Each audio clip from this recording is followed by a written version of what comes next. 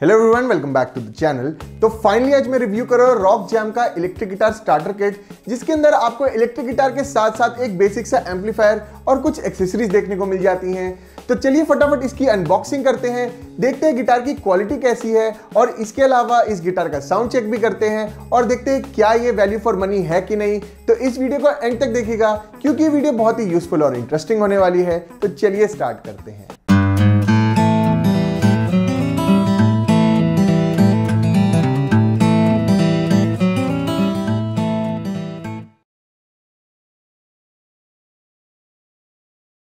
तो video start करने से पहले मैं आपको कहना चाहूँगा कि अगर आपने मेरे चैनल को सब्सक्राइब नहीं किया है तो नीचे सब्सक्राइब बटन पे क्लिक करिए।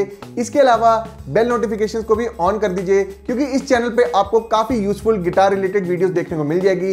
चाहे वो गिटार रिव्यूज़ हो या लेसन हो, काफ़ी यूजफुल और हेल्पफुल वीडियोज़ हैं आप लोगों के लिए। तो आप ज़रूर सब्सक्राइब करिए और इस चैनल को सपोर्ट करिए। इसके अलावा कुछ भी अच्छी डील्स चाहिए अगर आपको तो मेरे को इंस्टाग्राम पे फॉलो करिए। क्योंकि जब भी कोई अच्छी डील आती है तो मैं उसको अपनी इंस्टाग्राम स्टोरीज में ज़रूर अपडेट करता हूँ। जैसे कि यहाँ पे जो रॉक जम इलेक्ट्रिक गिटार है, ये मैंने लिया है अभी अराउंड 5500 का। और इसकी भी जो डील थी, मैंने अपनी इंस्टाग्राम स्टोरीज में डाली थी। तो इंस्टाग्राम का भी लिंक आपको डिस्क्रिप्शन में मिल जाएगा। और अब फटाफट इस इलेक्ट्रिक गिटार स्टार्टर किट की अनबॉक्सिंग करते हैं। पैकेजिंग की बात करें तो बहुत ही अच्छे से पैक होके आता है ये रॉक जैम का इलेक्ट्रिक गिटार स्टार्टर किट यहाँ पे आपको दो बॉक्सेस देखने को मिल जाएँगे। तो ओवरऑल काफ़ी सेफली आपका जो प्रोडक्ट है वो शिप होता है और डैमेज होने का चांस भी काफ़ी कम है। तो यहाँ आप देख सकते हैं कि गिटार जो है बहुत अच्छे से पैक हुआ हुआ है। तो चलिए एक बार इसको खोल कर देख लेते हैं।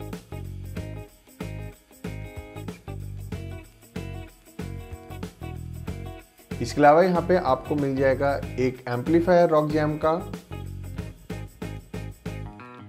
एक नॉन पैडेड बैग और कुछ एक्सेसरीज जैसे कि स्ट्रैप और स्ट्रिंग्स एम्पलीफायर की बात करें तो एम्पलीफायर आपको काफ़ी बेसिक सा देखने को मिल जाता है।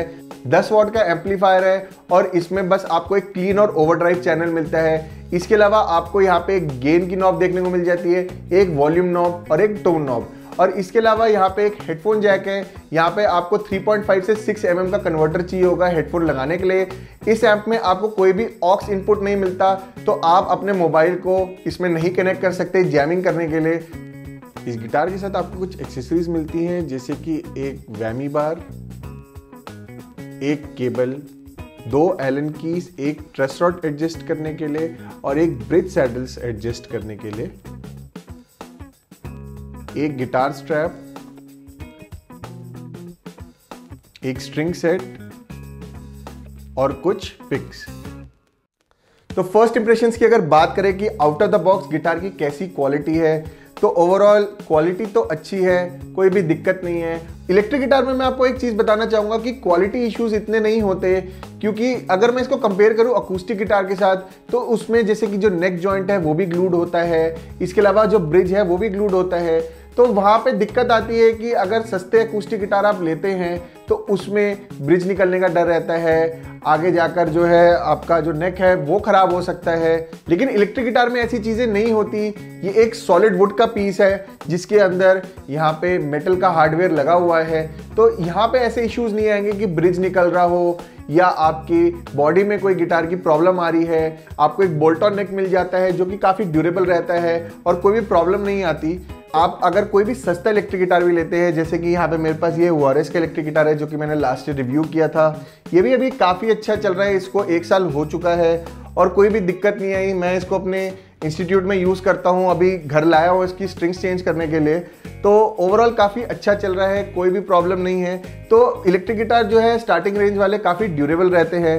अब इस गिटार की अगर बात करूँ तो ओवरऑल मेरे को क्वालिटी अच्छी लगी। फिनिश भी गिटार की काफ़ी अच्छी है, लेकिन यहाँ पे मैंने ये गिटार रिप्लेस कराया, क्योंकि जो फ़र्स्ट गिटार आया था, या पूरी जो फ़र्स्ट किट आई थी, उसमें जो ये ट्रेमेलो बार था या वैमी बार जो था, वो मिसिंग था। तो वो चीज़ मेरे को चाहिए थी, देखना था इसको टेस्ट करना था, कि ये कैसा परफॉर्म करता है। तो जो फ़र्स्ट पीस भी आया था, वो भी अच्छा था और सेकेंड पीस जो है वो भी अच्छा है, लेकिन दोनों गिटार्स में जो एक कॉमन प्रॉब्लम थी, वो थी सेटअप की, कि गिटार जो है out of the box properly setup नहीं था। दोनों गिटार्स में बजिंग इशू था, जब आप ओपन स्ट्रिंग प्ले करते हैं पर्टिकुलरली फ़र्स्ट और सेकेंड तो यहाँ पे मैंने थोड़ा सा पेपर प्लेस किया और उससे ये प्रॉब्लम सॉल्व हो गई। और इसके अलावा जो मुझे एक चीज़ अच्छी और नहीं लगी वो है कि जो इसका ब्रिज है, वो काफ़ी स्टिफ है। अगर आप ये वैमी बार यूज़ करते हैं, आपको काफ़ी ज़्यादा एफर्ट डालना पड़ेगा इसको यूज़ करने के लिए। अगर मैं बात करूँ वॉरिस की या वॉल्ट एस वन की तो इन गिटार्स में जो वैमी बार था, वो बहुत ही स्मूथ था, कोई भी दिक्कत नहीं आई थी। बहुत परफेक्टली काम कर रहा था। लेकिन इस गिटार में इतना परफेक्टली ये काम नहीं कर रहा है। तो ये एक सेकेंडरी इशू है मेरे को लगता है, क्योंकि एज अ बिगनर आपको वहमी बार वैसे भी नहीं चाहिए होता। आपको पहले बेसिक्स पे ज़्यादा फोकस करना है, अपनी प्लेइंग पे ज़्यादा फोकस करना है। अब ये क्योंकि एक स्ट्रैट डिज़ाइन गिटार है तो इसलिए पूरा उन्होंने एक ट्रेडिशनल डिज़ाइन बना रखा है। लेकिन मैं आपको सजेस्ट करूँगा कि अगर आप ये गिटार लेते हैं तो इसको अभी मत यूज़ करिएगा बिगनिंग में। जब आपको थोड़े कॉन्सेप्ट क्लियर हो जाए, जब आप अच्छे से प्ले करना सीख जाए, उसके बाद आप इसको यूज़ करिए। इसकी कोई इतनी इंपॉर्टेंस नहीं होती। इसके अलावा सेटअप में मेरे को दो चीज़ें और अच्छी नहीं लगी। एक तो है कि इस गिटार का जो नेक था, वो बेंड था। जो मैंने फ़र्स्ट वाला पीस मंगाया था, उसमें भी नेक बेंड था। और इसके अलावा दोनों ही पीसेज में, जो फ़र्स्ट और सेकंड ये वाला है, इन दोनों में ही जो एक्शन था, वो थोड़ा हाई था। और इसलिए यहाँ से मैंने सैडल से एक्शन को एडजस्ट किया, ताकि ये थोड़ा प्लेबल हो। तो मुझे ऐसा लगता है कि अगर आप बिगनर्स के लिए इलेक्ट्रिक गिटार बना रहे हो तो भाई सेटअप एकदम प्रॉपर होना चाहिए, क्योंकि बिगनर्स को आइडिया नहीं होगा कि भाई सेटअप कैसे करना है। और अगर आप कहीं शॉप पर जाते हैं गिटार को लेकर तो मैंने एक ट्रेंड देखा है कि अगर आप शॉप पे जाके बोले कि आपने ऑनलाइन खरीदा है तो वैसे ही चिढ़ जाते हैं कि भाई हम नहीं सेटअप करेंगे या वो आपसे ज़्यादा चार्जेस लेंगे। तो ये भी एक डिसएडवांटेज हो जाता है। तो मुझे लगता है कि भाई बिगनर्स के लिए प्रॉपर सेटअप वाला गिटार लेना बहुत ज़रूरी होता है, क्योंकि अगर आपका गिटार प्रॉपरली सेटअप नहीं होगा तो आप प्ले ढंग से नहीं कर पाएँगे, आप इंजॉय नहीं कर पाएँगे प्ले करना और फिर आप अल्टीमेटली छोड़ देंगे। तो ये एक डिसएडवांटेज आता है। तो मुझे लगता है कि प्रॉपर सेटअप होना बहुत ज़रूरी है out of the box specifications की बात करें तो ऐसे कुछ स्पेसिफिकेशंस मेरे को नहीं मिले कि इसकी जो बॉडी है, कौन सी वुड की बनी है। लेकिन यहाँ पे जो नेक है, वो है मेपल वुड का और जो फ्रेड बोर्ड है, वो है हार्ड वुड या इंजीनियर्ड रोज वुड का। तो ये जो फ्रेड बोर्ड है ओवरऑल तो ठीक है प्लेबल है, कोई भी दिक्कत नहीं आती। लेकिन इसमें आपको ज़रूर चेक कर लेना आउट ऑफ़ द बॉक्स की कोई प्रॉब्लम तो नहीं है, कोई क्रैक तो नहीं है। क्योंकि मैंने जो फ़र्स्ट इलेक्ट्रिक गिटार मंगाया था रॉक जैम का, उसमें दो जगह क्रैक था। ऑल दो बहुत बड़ा क्रैक नहीं था, लेकिन क्योंकि अभी नया नया गिटार खरीदा ही है आउट ऑफ़ द बॉक्स अगर क्रैक मुझे दिख रहे हैं और रिप्लेसमेंट का ऑप्शन है तो आप उसको ज़रूर यूज़ करिए। तो मैंने इसको इसलिए रिप्लेस कराया, एक तो ट्रेमेलो लीवर नहीं था और इसके अलावा फ्रेडबोर्ड में क्रैक था। तो ये दो इश्यूज़ थे जिस वजह से ये मैंने रिप्लेस कराया। इस गिटार में आपको तीन सिंगल कॉयल पिकअप्स देखने को मिल जाएँगी ब्रिज मिडल और सेंटर में।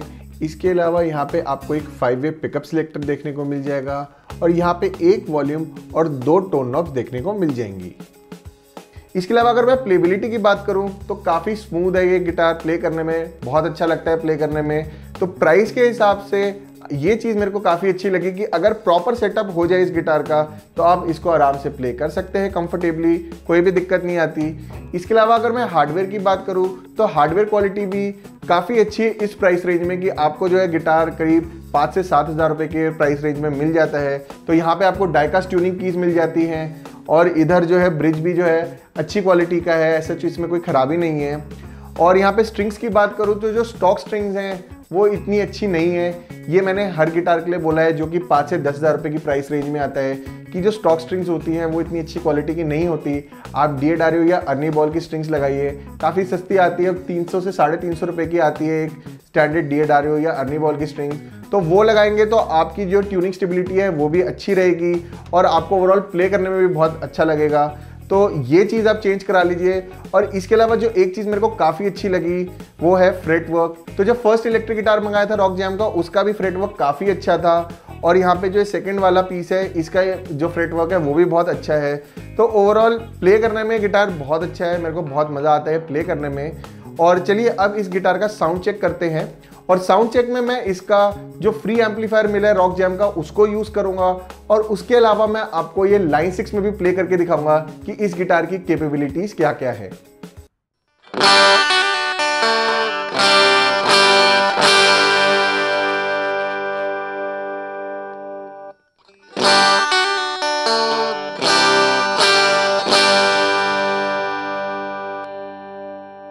Thank